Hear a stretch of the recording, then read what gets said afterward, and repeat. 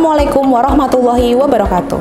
Halo teman-teman semua, perkenalkan nama saya Olvia. Di sini saya akan menjelaskan cara penentuan kadar besi dalam biji besi. Untuk prinsipnya yaitu contoh besi didestruksi dengan asam lalu diendapkan dengan amonium hidroksida. Selanjutnya, endapan yang diperoleh disaring dan dipijarkan dan abu yang diperoleh didinginkan dan ditimbang hingga bobotnya konstan. Mari kita lihat video berikut ini.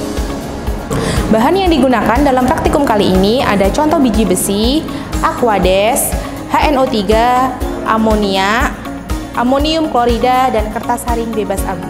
Untuk alat yang digunakan dalam praktikum kali ini yang pertama ada kompor listrik, botol timbang, gelas beker 250 ml, gelas beker 100 ml dan pipet tetes, gelas ukur 50 ml, pipet ukur 25 ml, corong gelas, corong bahner, labu ukur 100 ml, cawan porselen, dan penangas air. Selanjutnya untuk alat yang digunakan ada furnace dan desikator.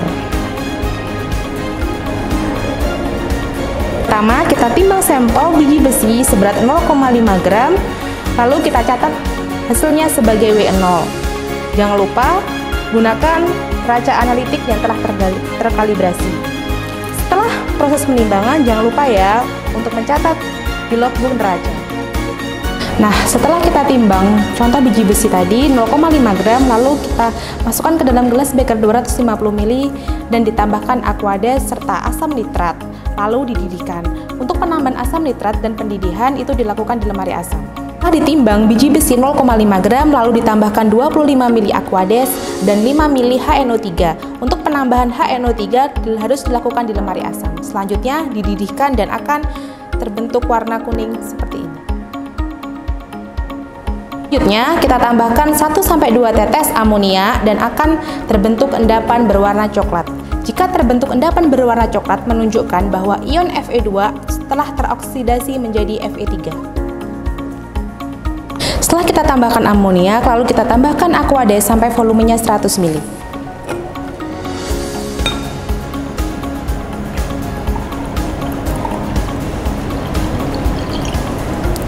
Nah, setelah volume 100 ml lalu kita didihkan pada suhu 70 sampai 80 derajat. Jangan lupa untuk mendidihkannya di lemari asam ya.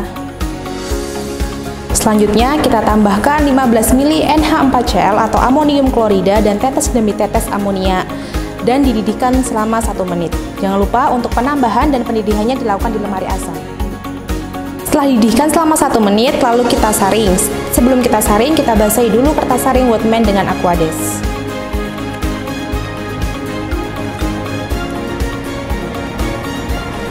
Selanjutnya kita saring.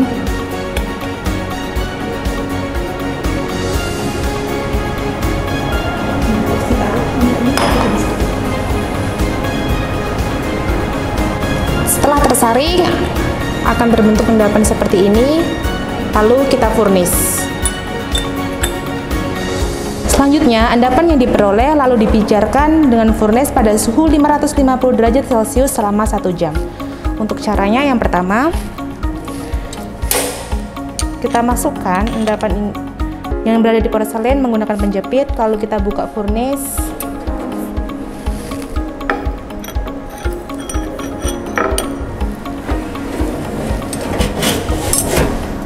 Selanjutnya kita nyalakan dan kita atur suhunya. Untuk lebih jelasnya, instruksi kerja furnace terdapat di sini. Satu jam lalu kita keluarkan cawan porselin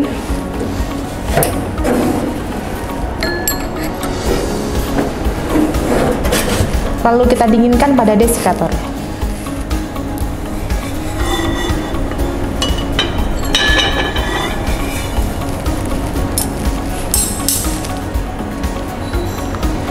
Setelah kita keluarkan dari desikator lalu cawan porselin kita timbang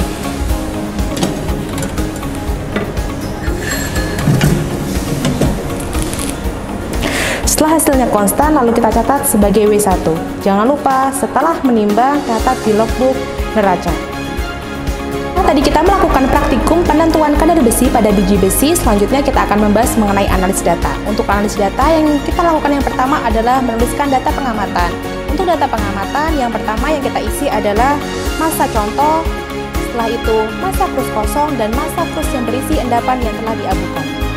Untuk langkah yang kedua, yaitu kita harus menuliskan persamaan reaksinya. Untuk persamaan reaksinya ada Fe2O3 solid plus 6HNO3 liquid menjadi 2FeNO3 3 kali aqueous plus 3H2O.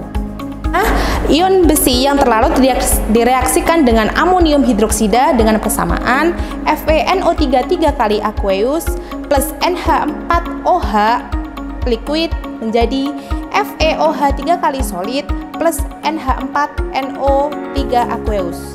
Selanjutnya, endapan yang dihasilkan disaring dan diabukan sehingga akan terbentuk Fe2O3. Untuk persamaan reaksinya, 2FeOH 3 kali solid menjadi Fe2O3 solid plus 3H2O. Untuk penentuan kadar besi menggunakan rumus berikut ini yaitu W1 min W0 per M dikalikan dengan faktor gravimetri.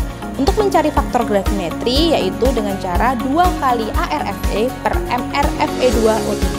Lalu selanjutnya setelah kita menemukan hasil dari faktor gravimetri lalu kita kalikan dengan 100%. Nah, untuk keterangannya, W0 menunjukkan massa krus kosong, W1 merupakan massa krus yang berisi endapan yang telah diabukan, dan M merupakan massa contoh. Demikianlah video penentuan kadar besi dalam biji besi. Semoga teman-teman dapat memahaminya ya. Sekian dari saya, apabila ada kurang lebihnya mohon maaf. Wassalamualaikum warahmatullahi wabarakatuh.